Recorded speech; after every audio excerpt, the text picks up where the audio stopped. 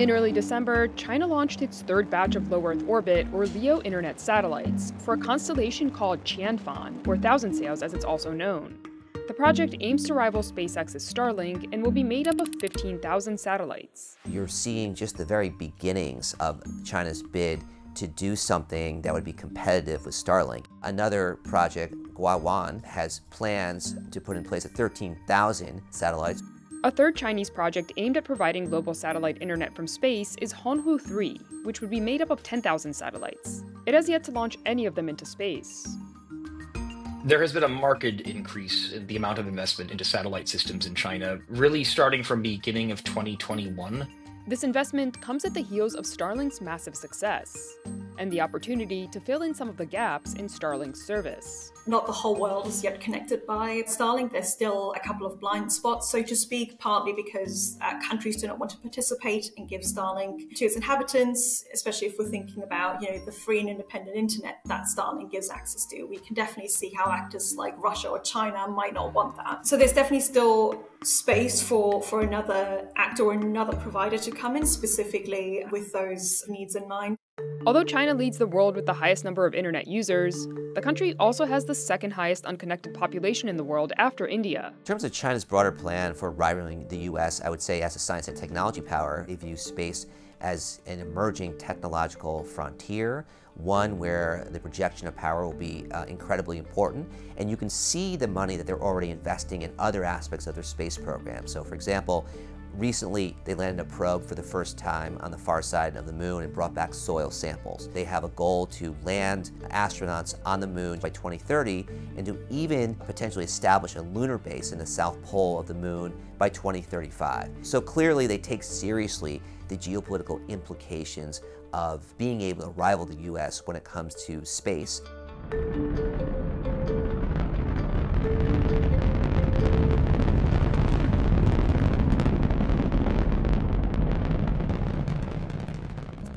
Catching up to Starlink will be a tall order for China.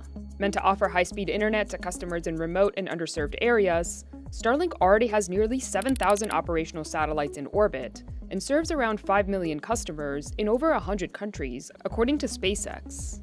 SpaceX hopes to eventually expand its mega constellation to as many as 42,000 satellites.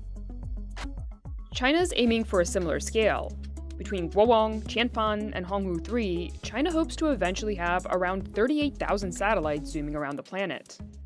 Development of these projects is closely linked with the Chinese government, though China has been increasingly opening its space projects to the private sector. Guowang, which is a fully state-backed, you know, 100% state-owned enterprise constellation. The operating company for Guowang, China Satellite Networks Limited, it was established about three and a half years ago. Again, fully state-owned company under the direct control of the state council. Thousand Sails, also called Qianfan, which is Thousand Sails in Chinese. It's a largely government-controlled enterprise. I mean, the Shanghai government is the largest shareholder through a, an investment corporation, and then there's the Chinese Academy of Sciences that has a lot of uh, presence in Shanghai in the context to building satellites, and so they, they're a big shareholder as well. And then the last second tier constellation, let's say this Honghu constellation being developed by Hongqing Technology is a sort of sister company of Landspace, which is a reasonably well established Chinese launch company. This project also comes as a a side effect, let's say, of this opening up of the constellation space to more private involvement, which again started to occur about a year ago. Like most companies in China, it's always a little bit opaque exactly what the financing looks like. But what we do know from these companies is that they're state backed, and so they likely have significant amounts of money coming from the Chinese government to support their efforts. In 2023, China ranked second in terms of government investment in space with the government pouring over $14 billion into the nation's space activities. The only country that spent more last year was the US, which allocated over $73 billion to space activities.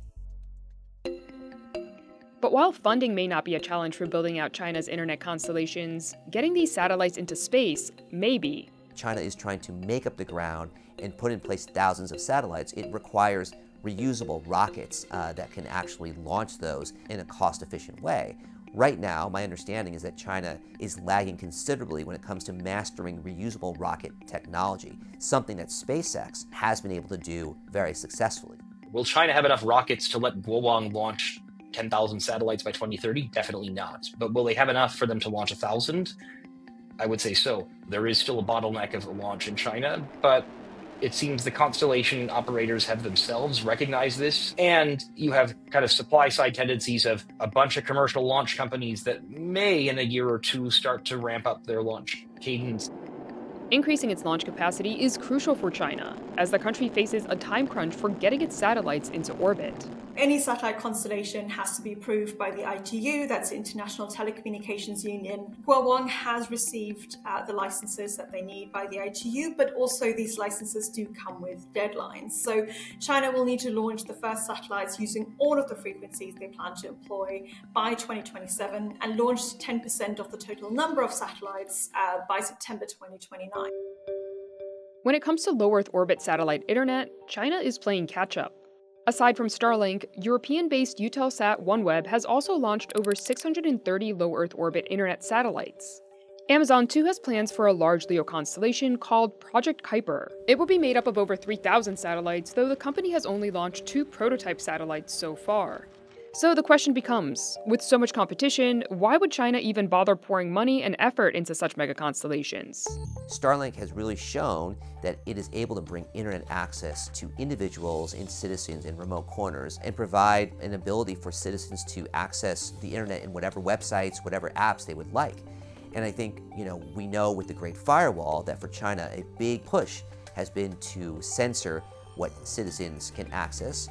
And so for them, they say, well, this presents a real threat. If Starlink can provide uncensored content either to our citizens or to individuals of countries that are allied with us, that is something that could really pierce through our censorship regime. And so we need to come up with an alternative. In certain countries, China could see this as almost like a, a, differentiator. It's like, well, yes, we're not as quick to market, but hey, we will censor the heck out of your internet if you'd like us to, and we'll do it with, with a smile on our faces. Experts say that while Chinese constellations will likely not be the choice internet provider for places like the US, Western Europe, Canada, and other US allies, plenty of other regions could be open to a Chinese internet provider. There's a couple of geographic areas in particular that might be attractive for a Starlink like competitor, specifically one made by China, including China itself, Russia, for example, but also Afghanistan and Syria are not yet covered by Starlink. And there's also large parts of Africa that aren't yet covered. We've seen that 70% of 4G infrastructures in the continent of Africa are already built by Huawei.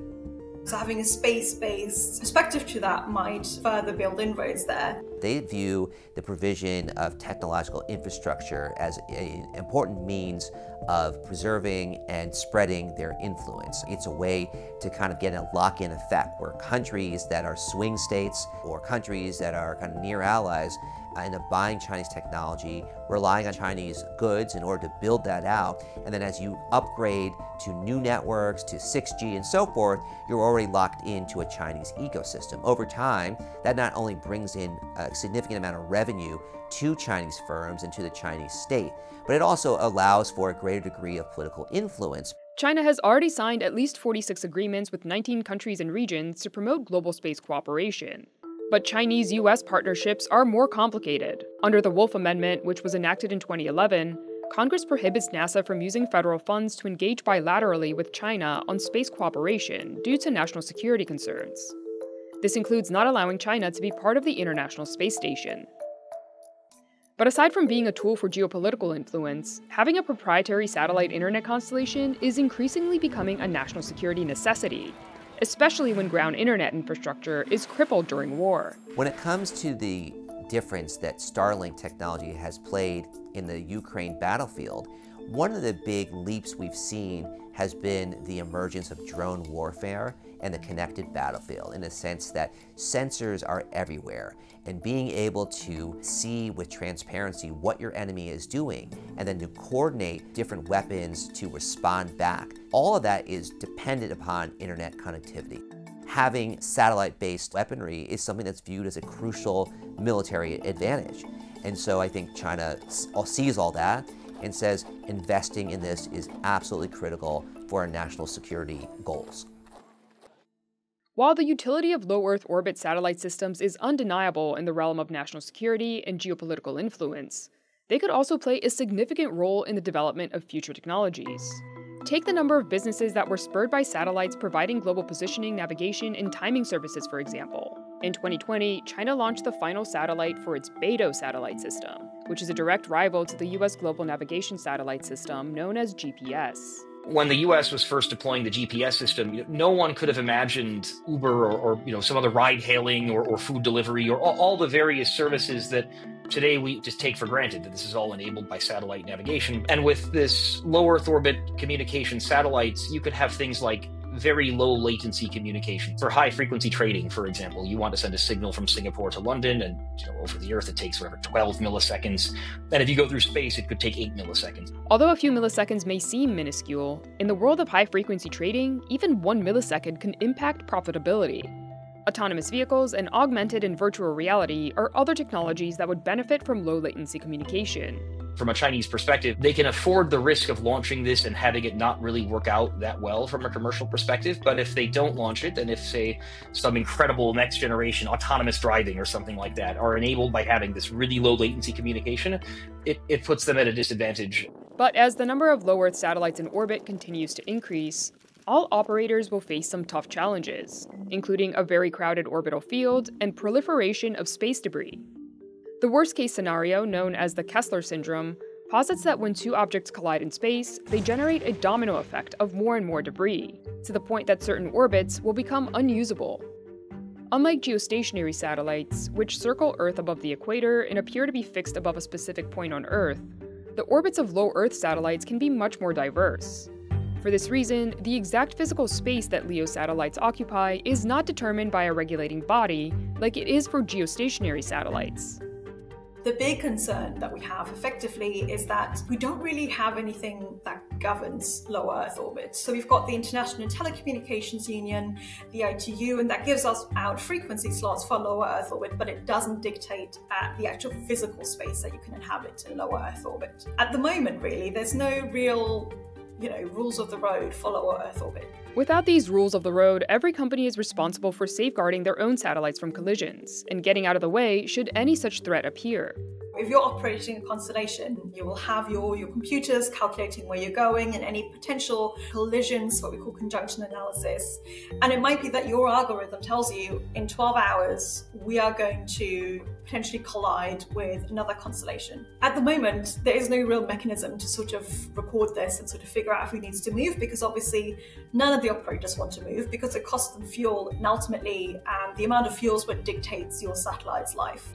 Scientists have also brought up concerns about how the disposal of these low Earth orbit satellites, many of which are designed to last about five years on average, will affect the Earth. Another concern about the sort of overcrowding of low Earth orbit, also, also what happens at the end of a satellite's life. Just typically in lower Earth orbit, they will simply sort of be dragged back down towards the atmosphere and they will simply burn up. But because a lot of satellites these days are built out of aluminium, we don't really know what it does to the atmosphere, if it actually harms it, perhaps thins it.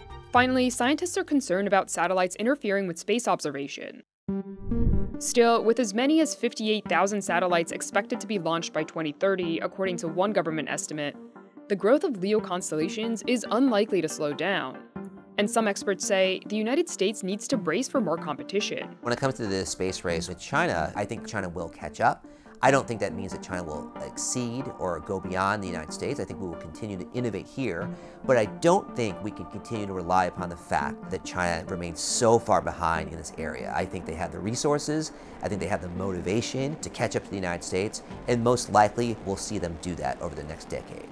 It's something the US government is already hedging against. China is putting up their own version of Starlink and Kuiper right now. And think about the geopolitical implications of China being able to provide, provide high-speed internet all across the world, pairing it with Belt and Road, their own content moderation filters. So we should want America's innovators, Kuiper, Starlink, to have all the support they need to succeed, and that's what I'm going to try to do with the FCC.